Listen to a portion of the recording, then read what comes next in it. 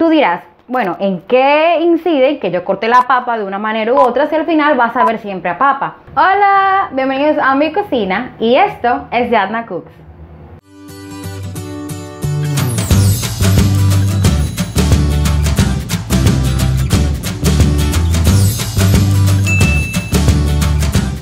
Hola, bienvenidos una vez más a un martes de Cooksejos.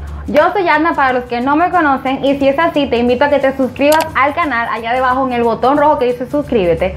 Si tú le das automáticamente te va a avisar cuando yo suba un nuevo video de recetas o de consejos. El día de hoy como martes de consejos yo te voy a dar un consejo muy importante que me parece que todos deberíamos dominar y es el tema de los cortes eh, con el cuchillo en la gastronomía. Y bueno, aunque esto no es un video para formar chefs, si tú quieres eh, convertirte en un chef, tienes que hacer diferentes cosas, certificaciones, ir a escuelas y todo eso. Pero sí me parece que ese es un tema que podemos dominar todos porque podemos darle otro aspecto a nuestra cocina y va a ser muchísimo más divertida, visualmente todo se va a ver más bonito. Y estoy hablando de los diferentes cortes que existen dentro de la gastronomía. Eh, muchas veces tenemos, por ejemplo, no sé, una papa, como en este caso, o una zanahoria, y solamente conocemos una sola forma de cocinarla, una sola forma de cortarla. Y realmente hay muchos tipos, pero hoy yo te voy a traer cinco tipos de cortes que son los que más se conocen, que son los que más se utilizan realmente y son muy fáciles de hacer. Y también te voy a enseñar la forma correcta de cortar en la cocina. Y en el video que hice sobre los utensilios básicos para la gastronomía, hablé mucho sobre las tablas y los cuchillos. Y es que por seguridad es mejor que utilicemos el cuchillo sobre la tabla, no en la mano, por ejemplo, como solemos hacer en casa, si tenemos por ejemplo una papa, cortarla de esta manera, eso es un error, porque nos podemos cortar y realmente el trabajo se hace muchísimo más lento. Si tenemos una tabla, y apoyamos el cuchillo en la tabla va a ser mucho más fácil y mucho más seguro.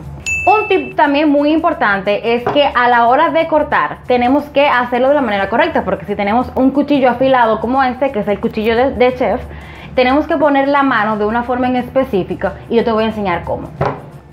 Pues si vamos a realizar un corte por ejemplo con esta papa lo mejor es tratar de ubicarla de una manera que quede estable. Si de ninguna forma la papa quede estable, lo ideal es que cortemos un lado de la papa y la pongamos así para que no se mueva de la tabla y cuando hagamos los cortes con el cuchillo no se deslice y provoquemos un accidente. La forma correcta de agarrar nuestro cuchillo es sosteniéndolo de esta manera, una manera firme y poniendo los dedos para atrás, como si fuera una garra, así, para que entonces cuando hagamos los cortes de ninguna manera nuestros dedos se puedan cortar. Si tenemos los dedos así, podemos ocasionar en un momento rápido que cortemos sin querer. Entonces, lo ideal es que tengamos los dedos recogidos y de esta manera podemos cortar felizmente y no nos va a pasar nada. El primer corte que te voy a enseñar a realizar con esta papa se llama bastones o batonet. Y cortamos un poquito de la papa para lograr una superficie plana, como te enseñé, y la ponemos en nuestra tabla. De esa forma no se va a mover. Entonces, vamos a cortar la papa de esta manera, aproximadamente de un centímetro de gordo. Y ya que la tenemos así, la ponemos juntas. Y también como de un centímetro cortamos. Y vamos a terminar con unos lindos bastones, aproximadamente de un centímetro cada uno. Este corte nos sirve para rostizarlas y para saltear. El segundo corte que te voy a enseñar son las julianas y se parecen mucho a los bastones pero son más finos. Entonces, igual cortamos nuestras papas, pero esta vez muchísimo más finas que la vez anterior. Entonces, una vez que tenemos nuestras lascas de las papas, las agrupamos y con mucho cuidado vamos a cortar de manera alargada, pero muy, muy fina. Siempre protegiendo nuestras manos. Miren qué lindas quedan. Se parecen mucho a los bastones, estos también se pueden utilizar para rostizar, solo que van a quedar mucho más crujientes y se puede utilizar también en sopas y para saltear. El tercer corte que te voy a enseñar, voy a utilizar una zanahoria, porque necesitamos un vegetal que, que tenga una forma cilíndrica como esta. Y simplemente vamos a poner nuestros dedos de manera segura y vamos a deslizar el cuchillo como si fueran rodajas.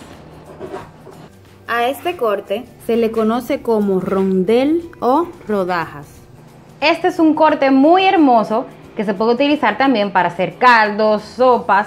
Miren qué bonitas se ven. El cuarto corte que te voy a enseñar es el corte mirepoix o corte en cubos. Y todo lo que tenemos que hacer es un corte aproximadamente de un centímetro cuando tenemos esto ya así, de un tamaño gordito, entonces cortamos en el medio.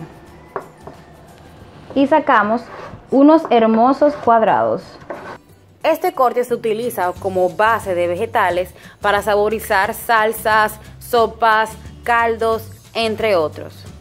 El último corte que te voy a mostrar es el brunoise o fine brunoise, dependiendo si son más grandes o más pequeños los cuadraditos necesitamos una lámina de la zanahoria bien fina y entonces vamos a cortar tiras como si fueran julianas. Una vez que la tenemos así, vamos a ponerla de manera horizontal, la nivelamos y ponemos nuestros dedos otra vez, manera segura, y vamos a cortar pequeños cuadraditos de la zanahoria. Y ¡tarán! Miren qué hermosos quedan. Esto está perfecto para sofreír y hacer rellenos, carnes rellenas, vegetales rellenos. Listo. Y ya como pueden ver, tenemos cinco cortes hermosos que lo podemos utilizar en distintas cosas.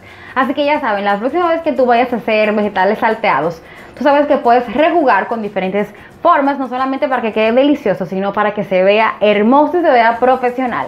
Además, tú dirás, bueno, ¿en qué incide que yo corte la papa de una manera u otra si al final vas a ver siempre a papa? Es cierto, siempre vas a ver a papa, pero va a depender del grosor que tú le des y la preparación que vayas a hacer si te vaya a quedar más crujiente o no. Por ejemplo, podemos utilizar el corte del batonet eh, para, hacer, eh, para hacer papas fritas, para hacer papas rostizadas y utilizar las julianas para saltearlas.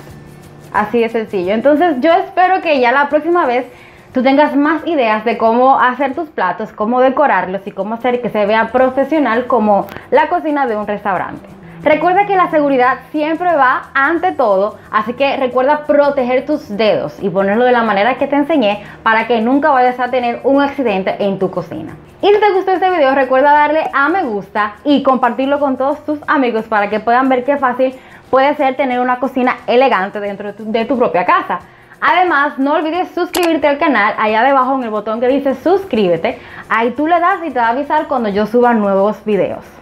Además, agrégame a mis redes sociales que van a aparecer por aquí, Yadna Cooks, en Instagram y en Facebook, así de fácil. Y recuerda que si tú haces uno de estos tips o si haces una de mis recetas, súbela a tus redes sociales con el hashtag Yo Cocino con. Así yo puedo estar informada de todo lo que están haciendo por ahí. Te invito a que estés bien pendiente del canal porque van a seguir viniendo muchos videos interesantes de muchos tips y muchas recetas deliciosas. Así que ya lo saben, ese fue el consejo del día de hoy y nos vemos el jueves con una receta súper rica. Así que, bye bye.